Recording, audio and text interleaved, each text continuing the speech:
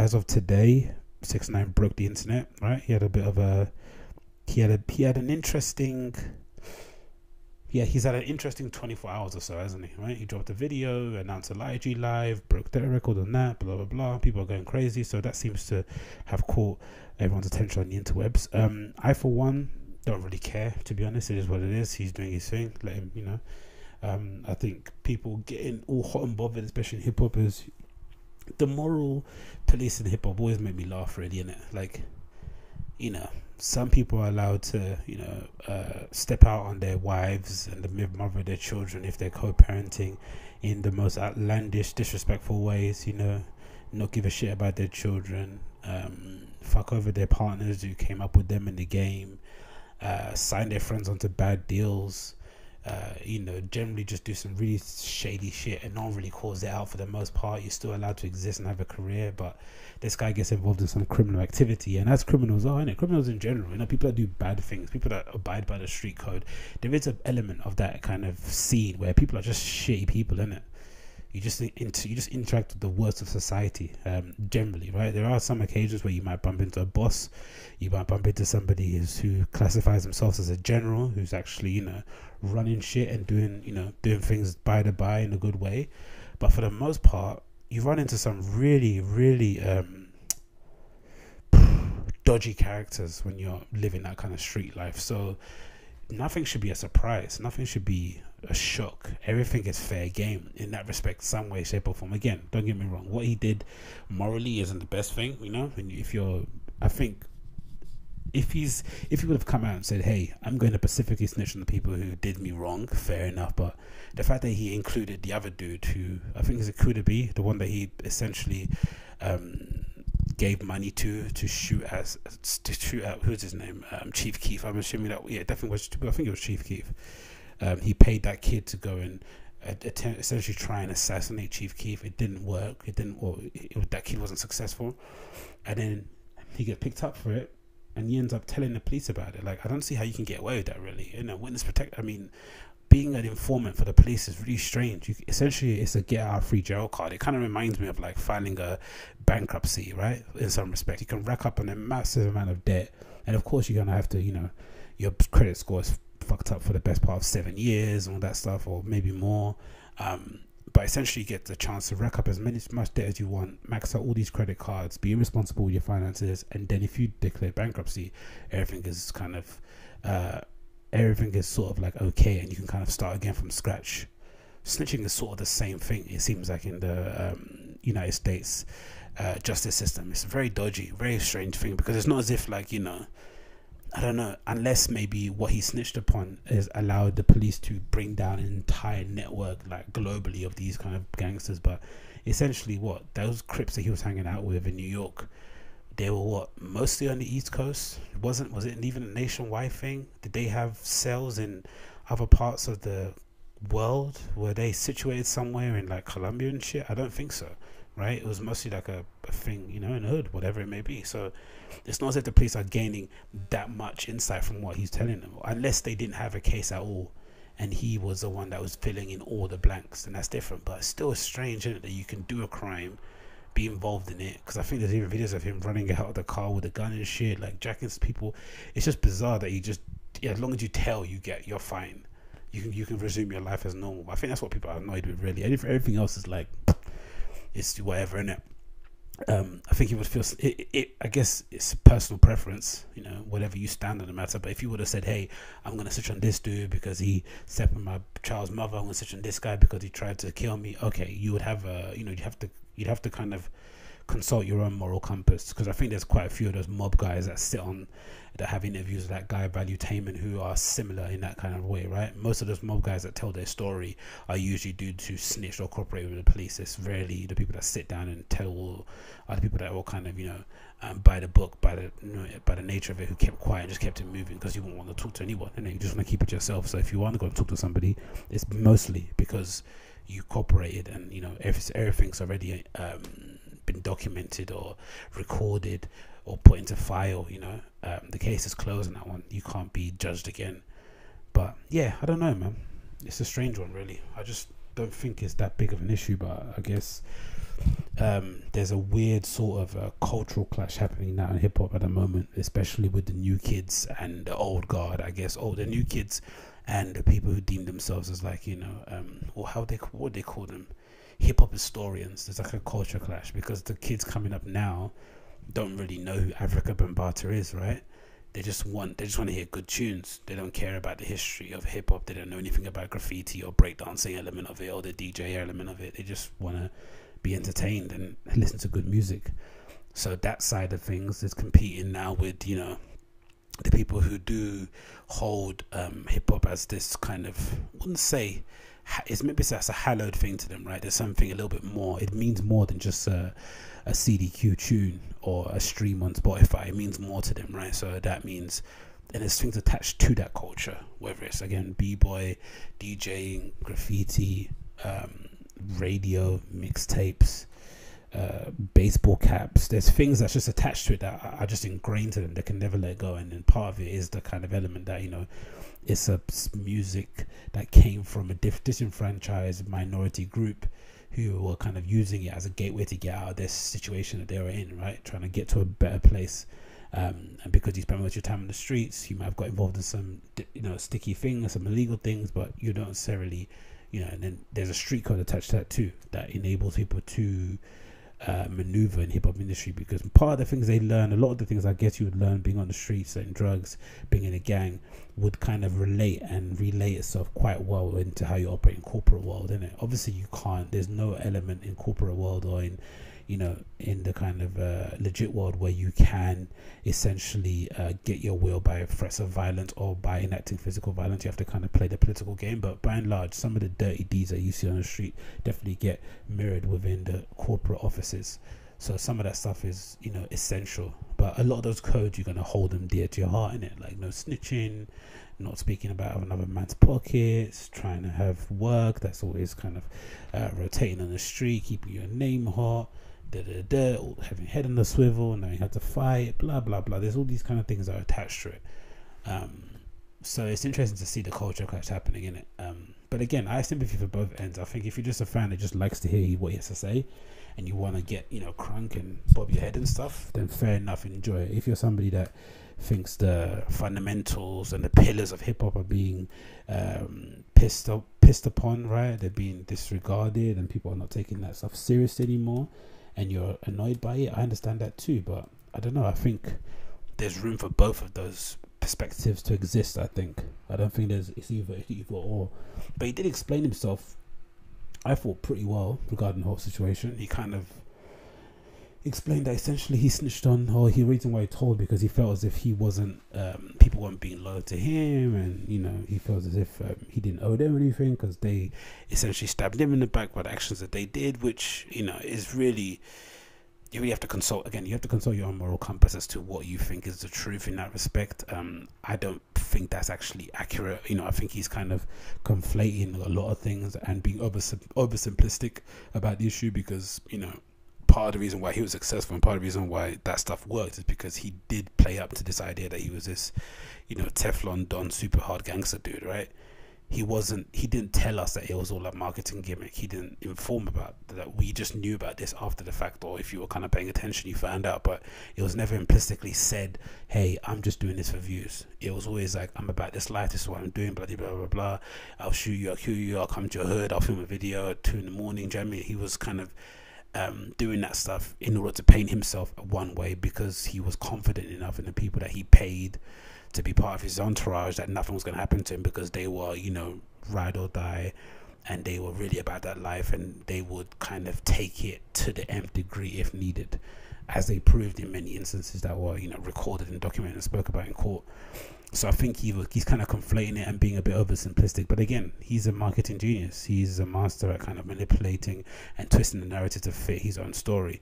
And if anything, he's a product of this generation, really, isn't it? He's exactly the kind of artist that this generation sort of deserves. And if anything, you know, he kind of reminds of.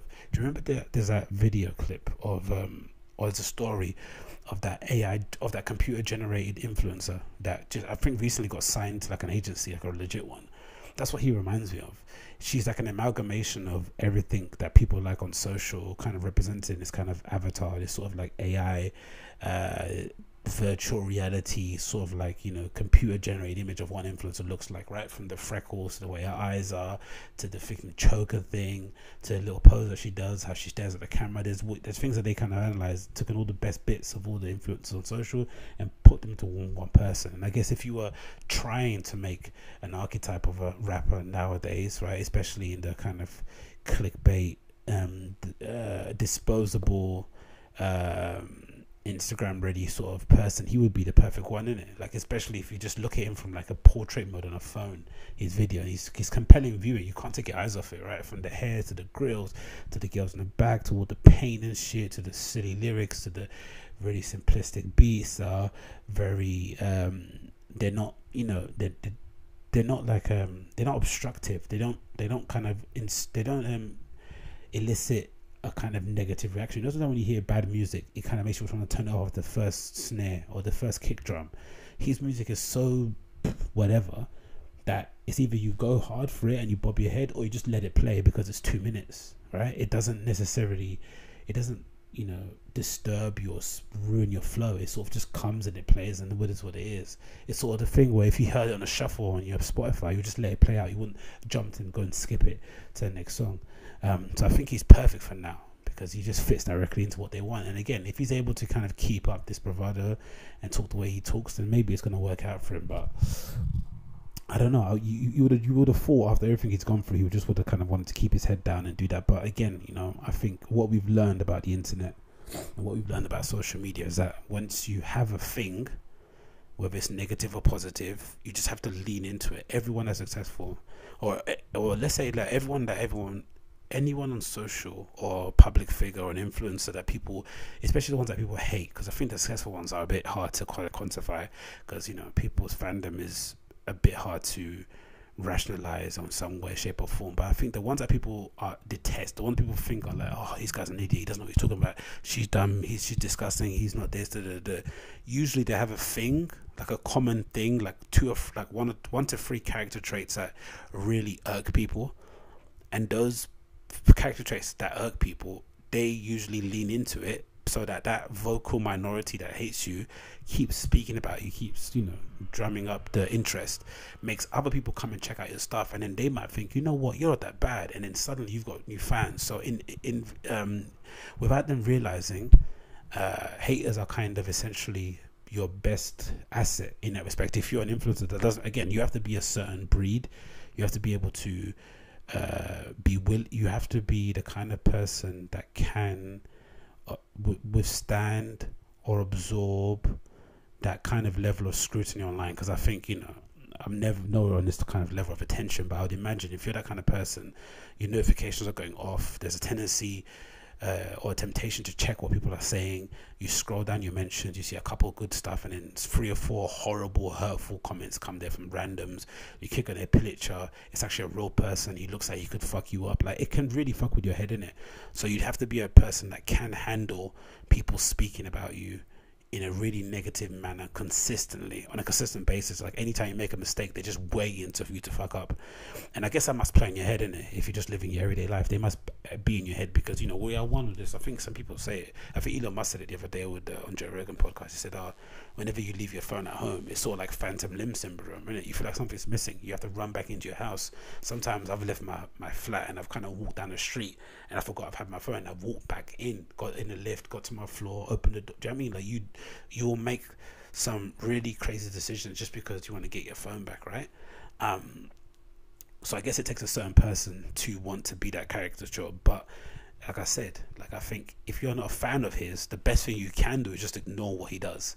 Just not bring any attention to it. Don't watch or stream anything. But the moment you start talking about his stuff, even just in a roundabout way, even if you start doing that really cuck thing that people do when they don't want to mention someone's name and they start putting the stars, the asterisks on their name, it's still going to make people curious about what he's doing, right? It, inevitably, like even if he wasn't following him on social, you would have heard people complaining or people kind of praising the fact that no, most are complaining because you don't really hear people unless it's Drake. You don't really hear people, or even maybe Kendrick. You don't hear people on social that much actually praising something they're into. it's never usually that. It's usually just you know them complaining about someone they don't like. So whenever you hear that, your instant thing is to go and check it out, right? I think the same thing might have happened with Lil Nas X, even, right? Some people hated that old Old Town Road, and then you check out, you know, oh, actually this thing's a bop, and then you continue being his friend, or you continue being a fan of his. But yeah, it's an interesting uh, conundrum. I'll go play a bit of the IG live that he did actually, where he's ragging and being aggressive online as per usual.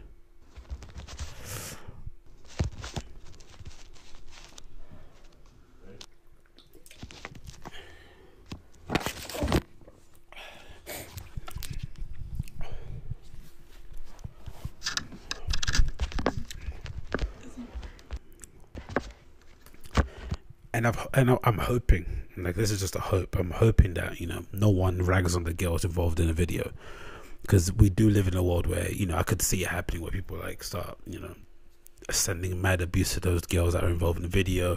How can you hang out with the snitch? It's like, look, they just work in a job. They're independent contractors. People have to make their money. Strip clubs have closed. They can't do walkthroughs anymore in clubs it is what it is, and let them get their coin and keep it moving. I don't think the girls should be kind of getting lambasted in this if they are going to be. I don't know.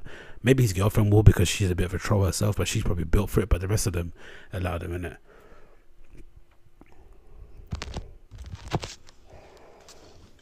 I tell a nigga go big, go back, Let's them come board. Let's see where, where he is actually forward a bit.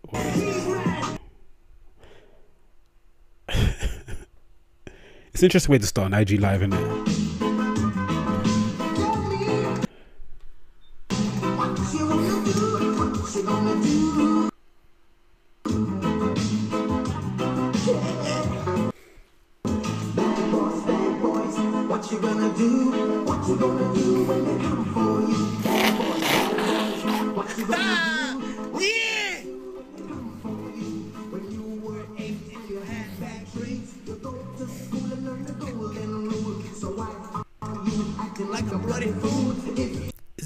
But he seems really riled up in it. I guess, again, maybe because of his percep his uh, perception or the way he kind of goes about on social, you would imagine that he wouldn't have been bothered. But it seems as if he was generally annoyed by what people were saying about him on social, which is strange because he seems like he understands why people would be hating him because he snitched, but he still seems annoyed that people don't accept the reasons that he did it which is odd too, isn't it? Because you must accept that there's some people out there who are abide by the street code, and no matter what someone does, even if somebody shot your mum point blank in her bedroom as she was sleeping, you would never be able to. You should never. That's a code, isn't it? You just once you in that life, and you make the fucking blood oath, whatever it is, or you get jumped in, that is what you commit to. You commit to a life where you can never involve law enforcement in any of your affairs. That's just what it is. We all know that, even you know civilians like myself. So I'm not sure why he's so angry about the whole issue. It seems very strange.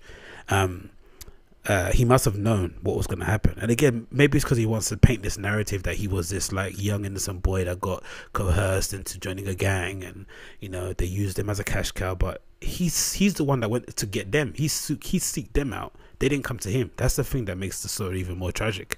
He went to go. He went to go find the the most um, legit, uh, real, yeah, the most legit kind of ready to go guys in his hood that would be willing to kind of stand behind him in music videos and make him look tough.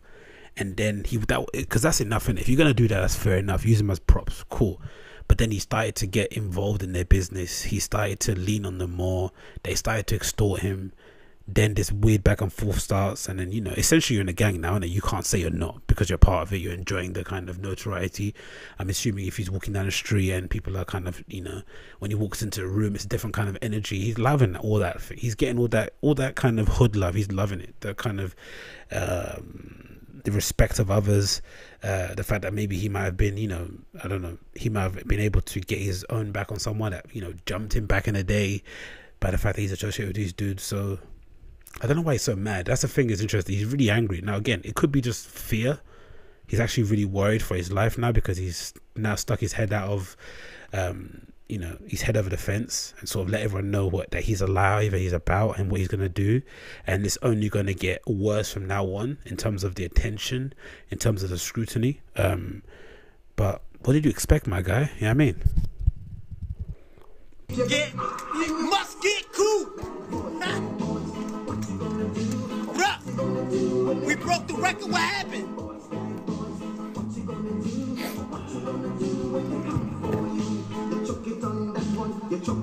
That's a million. That could never. See, he seems really angry. He seems really riled up, and I think the maybe it's just a you know the competitive energy that he has because he's always been about numbers and he's always been telling people how many streams he got he broke that record did this so that's just a standard thing but it could also it's also strange because i can understand this reaction if this was back in the day when we record labels mattered and when industry people mattered and when radio spends mattered that would be an instant reaction because you know if he was in the same situation 20 years ago the industry could have essentially killed his career if they wanted to, right? Like, but with the advent of the internet and social media, you can effectively do what you you are effectively uncancelable if you've got fans. That's what I've discovered. I think cancel culture is officially over if you have actual real fans. Because I think most people that get cancelled, unfortunately, especially if they haven't done anything too heinous, they don't actually have real fans. They have people that you know are interested and check out what they do. Like, oh, cool, he did that, she did this, but they don't actually have real fans that will buy what they do. Um, you know, without even thinking about it. And I think he has legit fans who will ride and die for him regardless what he does. Like in a similar vein of like a YouTuber. YouTubers have real fans, right? They go to a comedy club, they sell it out. They do an event, they sell it out. They do a tour, they sell it out. They put a product out, they sell it out because those fans will buy whatever. There's, I'm sure there's fans of some YouTubers who don't even especially the makeup ones. I'm sure there's some kids out there who just buy YouTubers palettes and stuff um, just to buy them, just because they want to have it in their collection and show that they're actually part of the community and they want to feel like they're giving, they're supporting their favorite artists to keep doing their favorite sorry content creator to keep doing what they're doing. So I think that kind of reaction that he has now would be justified if it was if it was back in the day because he would have felt as if like the industry is essentially uh, putting him out of a job, right? They're essentially putting him into a corner where he has no other option but to do a life of crime again because he's got no way of making any legit money. Because you know, once he's out of prison now, especially um, in, uh, regarding what he got himself into, he's not like he's gonna get a normal job in it. No one wants to have that kind of negative attention on on them. Plus the face tattoos, he's only got one avenue that he can kind of operate in. That's like being on the internet being a kind of you know divisive figure, doing music, influence, or whatever. He's only got that one industry. So I guess if you were, if this was 20 years ago and this happened, then yeah, I understand the reaction. But nowadays it doesn't matter. He can essentially he could do whatever. He could fart into a microphone for 22 minutes and it would still probably put up numbers. So I don't really see why he's so like aggressive with it. That's four. Y'all got one. Y'all wouldn't even get one. Or maybe maybe because maybe because he spent two years in essentially in prison too. That might be part of it as well. Do you know I mean? Fearing for his life every day. So that could be also a reason why he's super angry.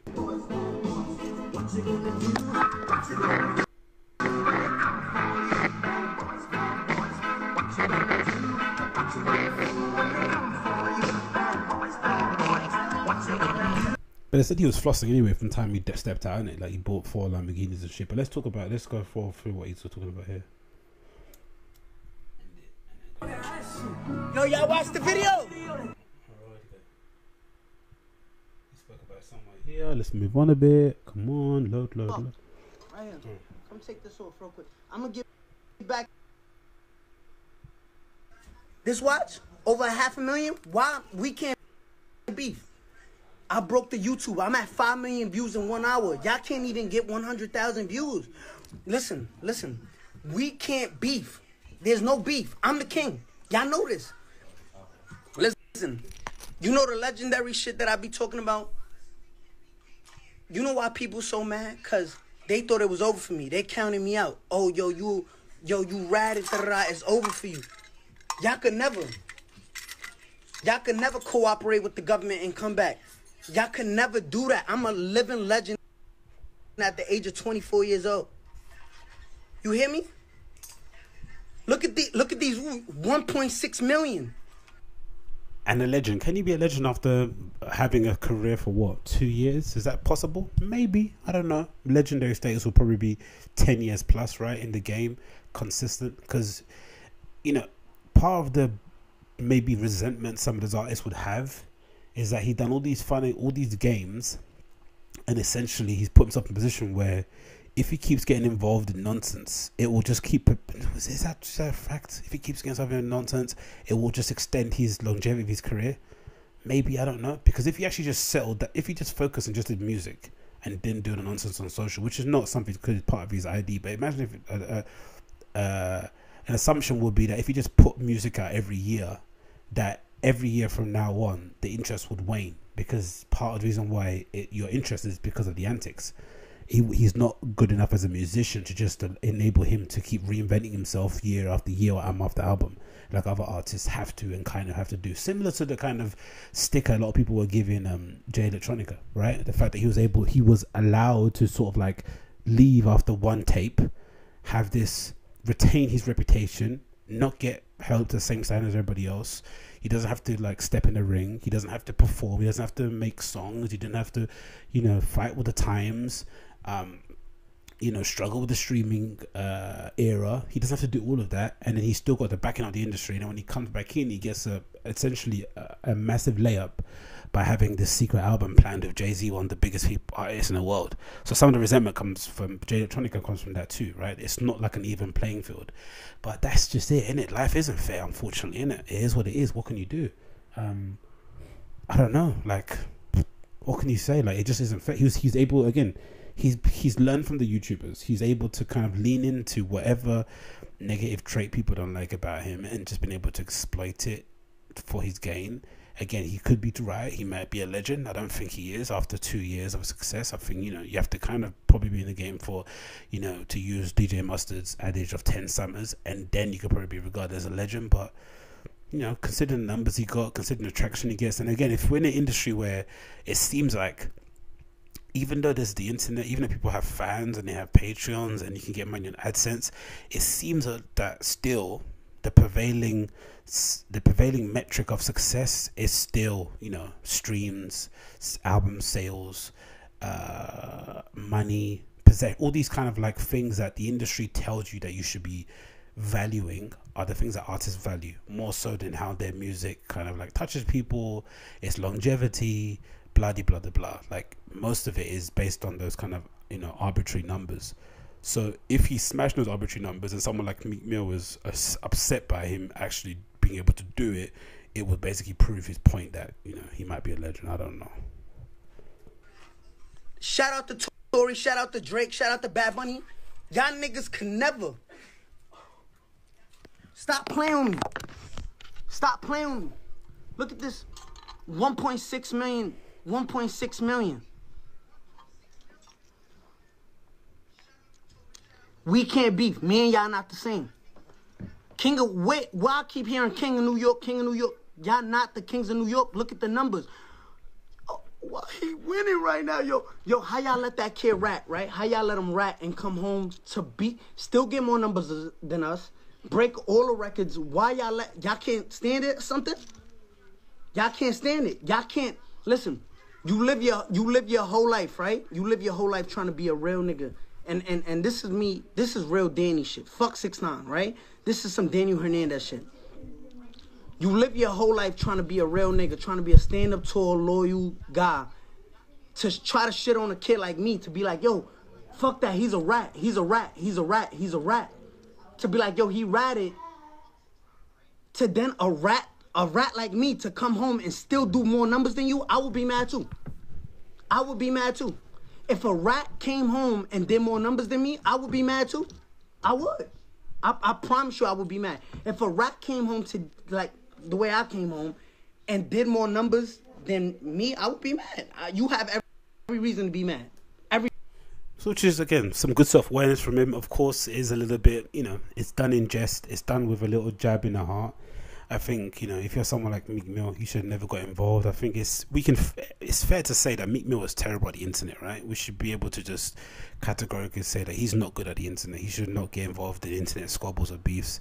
you know, it never ends well for him. He seems to be really unable to kind of gauge what people are thinking and the current sentiment. He should have just stepped. He should have just viewed. He should have just waited for everyone else to make a decision, a comment first before stepping out. I think the whole like I'm a real guy kind of posturing was never going to work in this sort of like circus essentially. Coming to the Tekashi 69 house and trying to be a stand up real guy, it's just never going to work. There's too much chaos. It's either you get involved, you cover yourself in pain, or you just go home. But you can't then start telling people to like get off the couch and, you know, stop playing the music so loud. You just got to either, you know, get in line or go home. And he just should have just left and just left it as it is. And plus, you know, his girlfriend just gave birth you know, to a child on his the same day as his birthday. I mean, there should be more things on your mind than what Six Nine is doing. But again, I think it's not even to rag on Meek. I think he's just a reflection of the industry. I think there's some people in the industry, again, artists mostly, who are just so annoyed that he's been able to be successful, regardless of his uh, lack of talent. Maybe you know, talent, musical talent is that fair? Maybe musical talent is a fair thing to say because I still think he's a marketing genius. But if you if you think somebody only has like one style, one song, because the baby's getting that sort of same reaction, right? If you think he's only got one flow and he and he keeps being successful with that one flow and with that one sort of sound, if you're not if you're an artist that has a repertoire and you feel as if people don't look at you the same way, I get why it can be annoying, but I just think there's so much opportunity, there's so much so many fans out there for everyone to have. There is no point of like I don't know. Will Meek would Meek even want a six nine fan anyway? Would you want that? You probably wouldn't. So why do you care if he's got fans that want to stream his stuff, you know, two million times a day or whatever, or get you know whatever many views in an hour? Who gives a shit? Because they're never gonna listen to his album anyway. You know what I mean? Um, I just think it's an interesting case a case study. Let's see what happens in the next couple of days. I'm sure we'll get an album probably dropping soon. It seems like he's recorded quite a few bits and bobs from what I've been hearing. Um, he seems like he's uh, been hard at work. I'm sure there's a whole bunch of videos already filmed too. It's interesting that he filmed that video for Gooba. It looks like he filmed it in like a storage container or something in his garden, so no one could actually realize where he lives which is which is cool because I've, i was quite worried that he would have filmed it in his garden, had this weird view because that's what happened in Don't Kill Cats, in it, right? In Netflix, where they were able to find the dude who was doing that, you know, sick shit to cats, based on where he was recording his videos at home. They were somehow able to like pick out bits of his room, triangulate stuff. Like people on the internet are fucking mad. So if he would have been able, if he would have filmed something in his garden with a clear view of some sort of landscape, someone would have found where he lived, and that wouldn't have been a good thing for him. So I'm glad that he was kind of safe and able to kind of film it in some storage compartment, so he didn't end up, you know, having the shortest kind of like back fresh home career ever. But yeah, he's doing what he's doing.